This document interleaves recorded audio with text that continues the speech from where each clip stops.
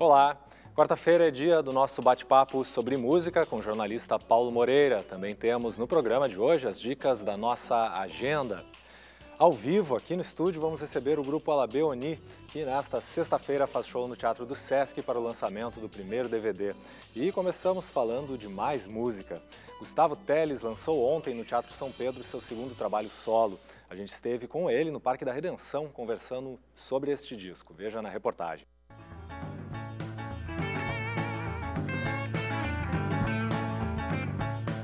Como baterista da Pata de Elefante, ele obteve reconhecimento no estado e no Brasil.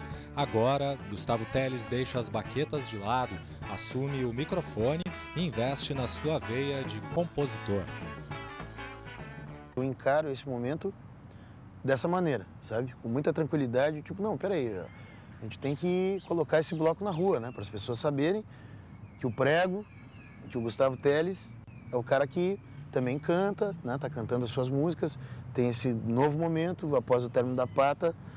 Existe esse trabalho e agora eu, eu tô de cabeça nele, né? Como um, um, uh, né? eu, não, não, eu não teria outra coisa para fazer.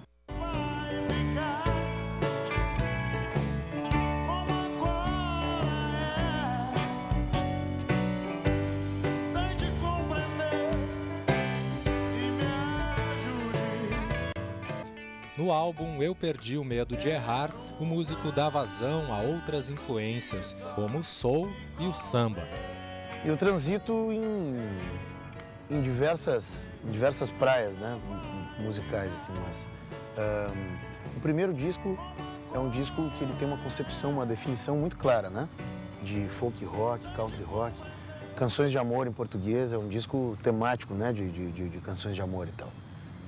Esse segundo ele também é permeado né, por essa temática, que, e, mas ele não fica só nisso, né, no lance da, da, das, das, canções de amor. Ele vai além, tem muito de existencialismo, tem essa coisa de.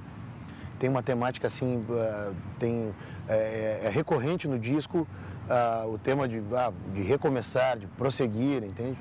Retomada, que na verdade é o que eu estou vivendo, né? Porque a partir do momento em que, em que a pata terminou, começou uma, um, um, uma, outra, uma outra etapa, né?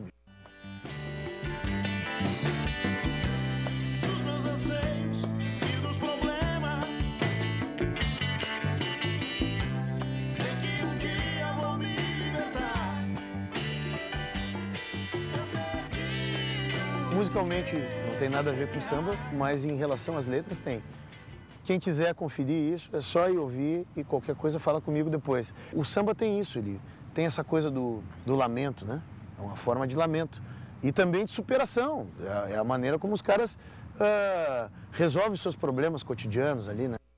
A verba arrecadada nesse projeto vai ser utilizada na finalização do disco. Essas iniciativas, assim, projeto de financiamento coletivo, pô, é uma excelente maneira, né, da gente viabilizar as coisas, né? Que são os fãs, os amigos te auxiliando a, a dar conta dos custos, né, de, de cada projeto. Então, o pessoal realmente participou. Claro, eu fui ver a lista lá, só dá amigo, só dá amigo, né? E pessoas que e amigos que até então de repente eu não conhecia, mas já me conheciam, né? Gostam do trabalho.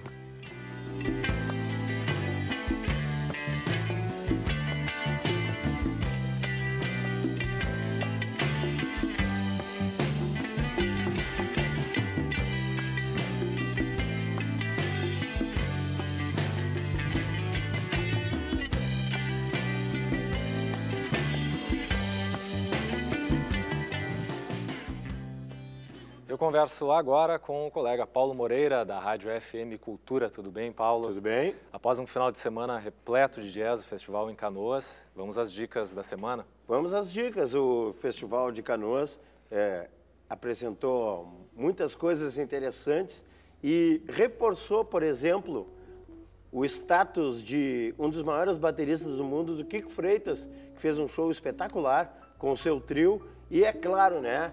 O filho do homem, Ravi Coltrane, filho de John Coltrane, que estava todo mundo esperando e ele mostrou que tem a própria personalidade, mas que ele não esquece o legado do pai. Tanto que o bis que ele fez foi com Giant Steps, um dos grandes clássicos da carreira do seu pai. Mas a história aqui é outra, não é canoas jazz, é guitarra jazz. Eu vou mostrar dois exemplos de dois guitarristas que estão em polos diferentes, mas que fazem trabalhos muito interessantes. O primeiro deles está aqui, ó, o Nicolas Polidoro, que é um guitarrista aqui de Porto Alegre e que acabou de lançar esse disco Roda Gigante, um disco muito interessante de quarteto ao lado do Matheus Kleber, do Carlos Delia e do Rafa Marques, mostrando assim as suas próprias composições e uma maturidade muito interessante para um jovem guitarrista.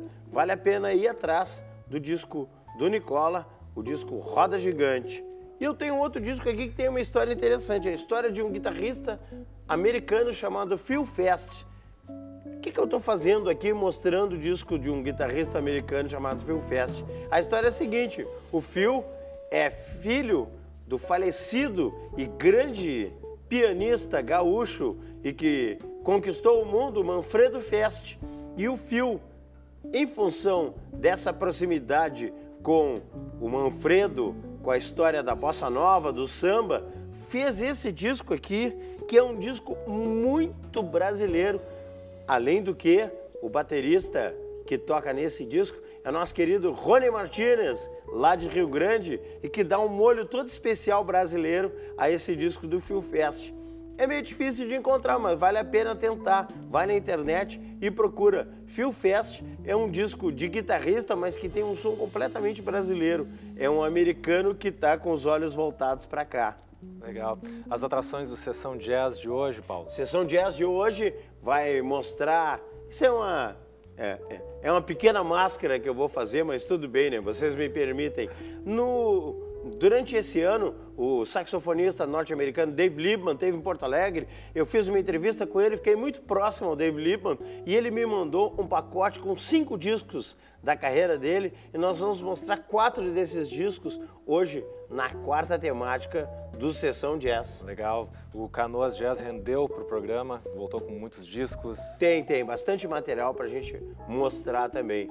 Só queria fazer um, um último aviso, hoje à tarde lá no Hotel Ritter, eu vou estar representando a Prefeitura de Porto Alegre num debate sobre música na América Latina, dentro da 18ª cúpula da rede Mercocidades. Se vocês tiverem a fim de ir lá debater com a gente, vai ser muito bacana.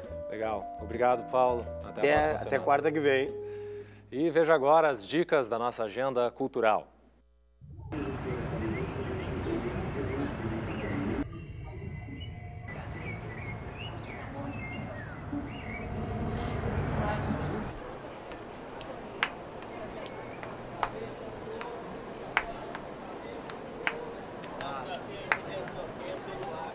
Amanhã, às 21 horas, o espetáculo Das Flor tem apresentação única e gratuita no Teatro São Pedro. A peça retrata a vida nas ruas a partir de uma narrativa fragmentada e subjetiva. Os ingressos podem ser retirados na bilheteria do teatro.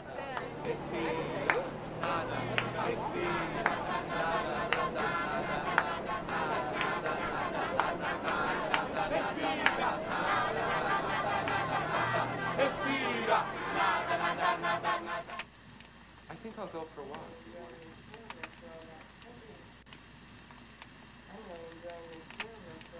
Eh? Perché ormai voi state costumi con me. Andando. No. Ah, Bru, no. mi raccomando, eh? Sì. Se la troviamo faccio una pazzia. No. A sessão de amanhã da mostra O Olhar da Criança através do cinema traz o filme Ladrões de Bicicleta.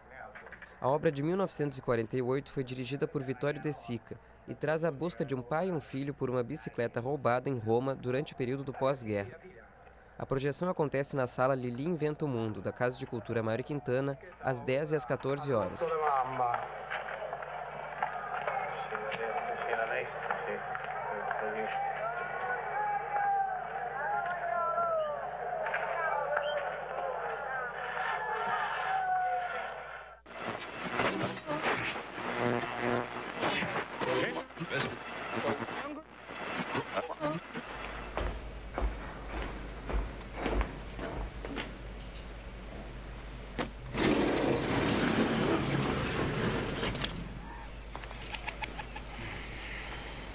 Começa amanhã às 20 horas o Vivo Open Air, o maior festival de cinema a céu aberto do mundo.